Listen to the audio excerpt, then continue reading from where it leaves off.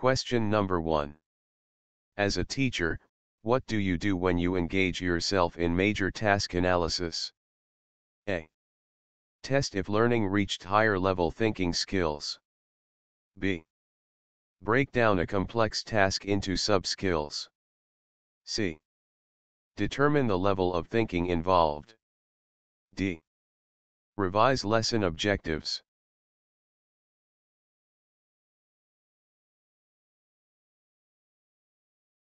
Answer B.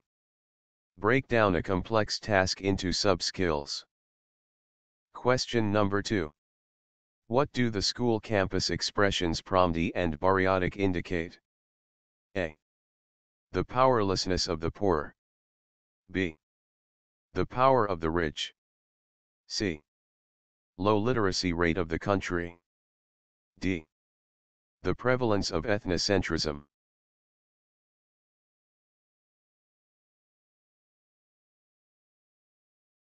Answer. D. The prevalence of ethnocentrism. Question number 3. I want every pupil to cope with my lesson. Which technique can help me achieve it? A. Peer instruction. B. Film showing. C. Mnemonics.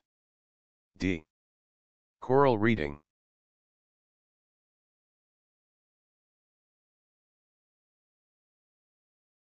Answer. A. Peer instruction. Question number 4.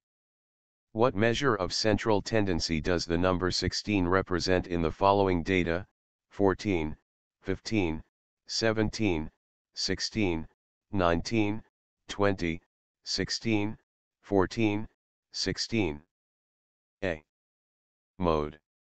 B. Median. C. Mode and median. D. Mean.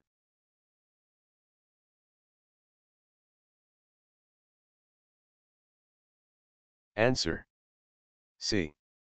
Mode and median. Question number 5. Which of these statements reflects best active learning? A. I hear and I forget, I see and I remember, I do and I understand. B. I became interested in the school, I feel it is my school now. C. I need more support, a network from which I could learn. D. I have found that one key to student development is providing criteria for performance.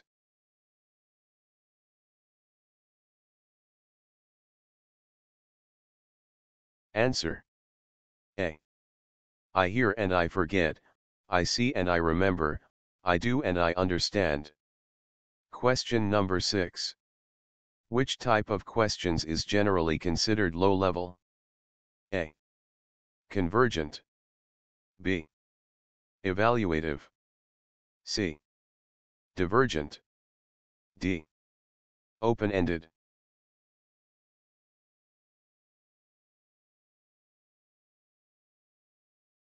Answer. A. Convergent. Question number 7.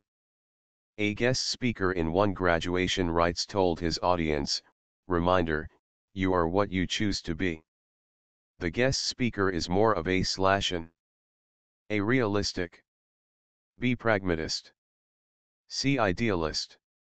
D existentialist.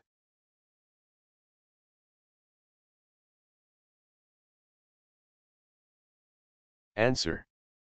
D. Existentialist. Question number 8. Helping in the development of graduates who are Maka-Diyos is an influence of A. Naturalistic morality. B. Classical Christian morality. C. Situational morality. D. Dialectical morality.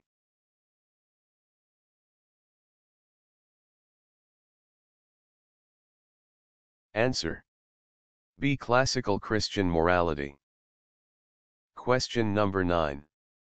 Teacher T taught a lesson denoting ownership by means of possessives. He first introduced the rule, then gave examples, followed by class exercises, then back to the rule before he moved into the second rule. Which presenting technique did he use? A. Combinatorial. B. Comparative. C. Part whole. D. Sequence.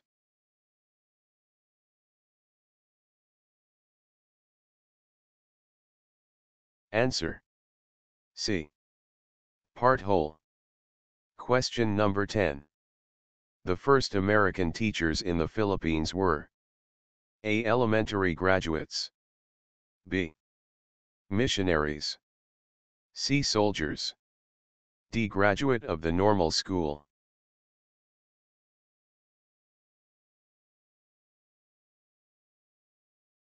Answer C. Soldiers Question number 11 Teacher E's sideline is selling encyclopedias for children on weekends. Her usual clientele are the parents of pupils who are on the verge of failing or those vying for the top 10 in fact, she always succeeded in selling encyclopedias to these parents. Is there anything unethical with the way Teacher E does her sideline? A. Yes, there is she may become less objective in her evaluation of the work of these pupils concerned. B. No, there isn't. Books and teachers mix. Teachers are supposed to promote reading. C. No, there isn't. A teacher's salary is meager and selling books is respectable way of augmenting teacher E's income. D. Yes, there is. She is not supposed to engage in any form of sideline.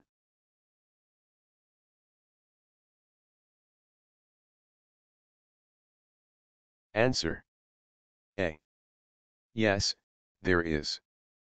She may become less objective in her evaluation of the work of these pupils concerned. Question number 12. In the context of Piaget's theory answer this analogy, preoperational stage, transductive reasoning concrete operational stage. A. Proportional reasoning. B. Deductive reasoning. C. Inductive reasoning. D. Logical reasoning.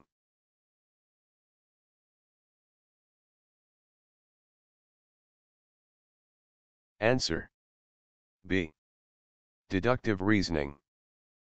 Question number 13. Which is essential in the cognitive development of persons according to Vygotsky? A. Independent thinking. B. Individual mental work. C. Scientific thinking. D. Social interaction.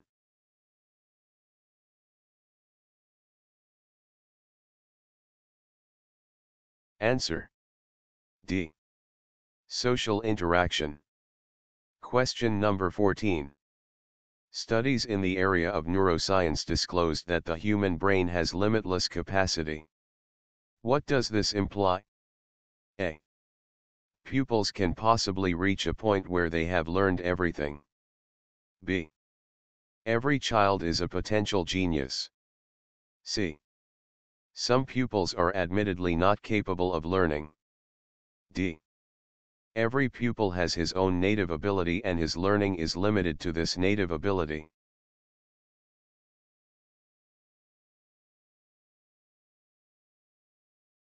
Answer. B. Every child is a potential genius. Question number 15. Miss Reyes observed that one of her students excels in activities requiring strength, speed, flexibility, balance and hand-eye coordination. According to Howard Gardner, such natural intelligence can be identified as A. Bodily kinesthetic B. Interpersonal C. Verbal logical D. Verbal linguistic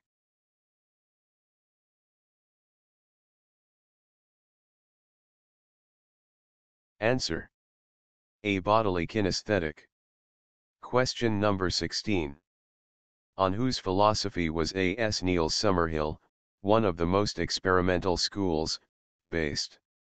A. Rousseau. B. Pestalozzi. C. Montessori. D. John Locke.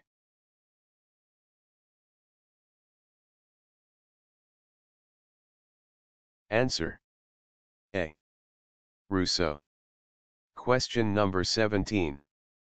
After giving an input on a good paragraph, teacher W asks her students to rate a given paragraph along the elements of a good paragraph.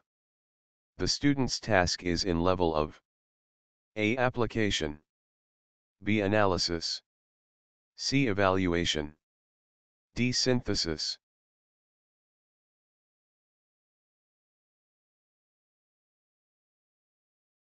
Answer B. Analysis Question number 18. Out of three distractors in a multiple choice test item, namely B, C, and D, no pupil chose D as answer. This implies that D is A. A vague distractor, B. An effective distractor, C. A plausible distractor, D. An ineffective distractor.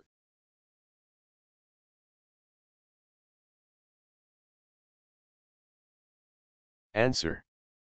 D. An ineffective distractor. Question number 19. For which may you use the direct instruction method? A. Become aware of the pollutants around us. B. Appreciate Milton's Paradise Lost. C. Use a microscope properly. D. Distinguish war from aggression.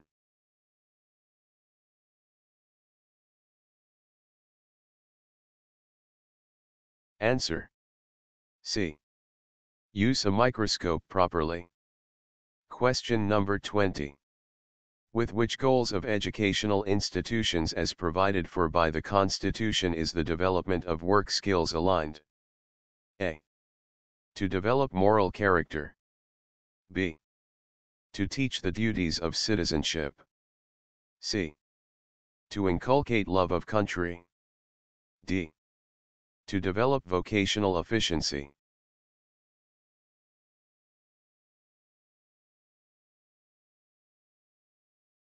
Answer. D. To develop vocational efficiency. Question number 21. John Watson said, Men are built not born. What does this statement point to? A. The ineffectiveness of training on a person's development. B. The effect of environmental stimulation on a person's development. C. The absence of genetic influence on a person's development. D. The effect of heredity.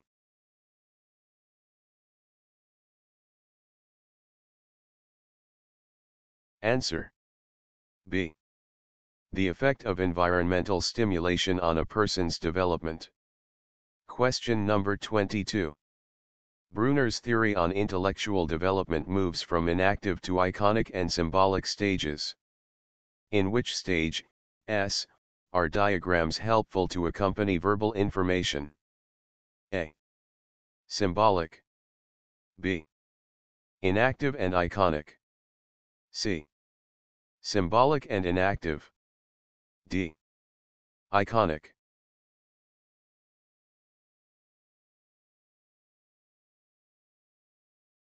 Answer. A. Symbolic. Question number 23. Key factors in developing effective learning environments are classroom disciplinary climate and teachers' self-efficacy. Which conclusion can be derived from this statement? A. The teacher is the key to an effective learning environment. B. Students who are subjected to disciplinary measures contribute to an effective learning environment. C. A disciplinarian teacher creates a favorable learning environment. D. The discipline from an authoritarian teacher yields a conducive learning atmosphere.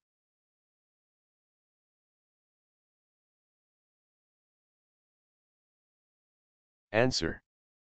A. The teacher is the key to an effective learning environment. Question number 24. The difficulty index of a test item is 1. What does it imply? The test item must be A. Moderate in difficulty. B. Very difficult because only one got the item correctly. C. Very easy because everybody got the test item correctly. D. Neither difficult nor easy.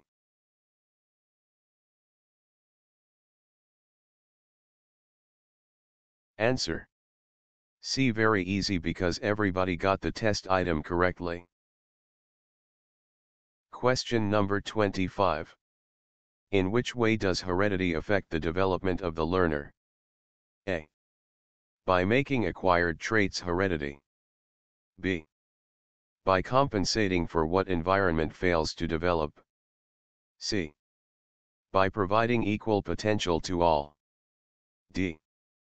By placing limits beyond which the learner cannot develop.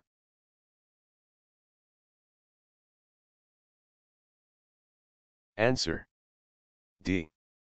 By placing limits beyond which the learner cannot develop.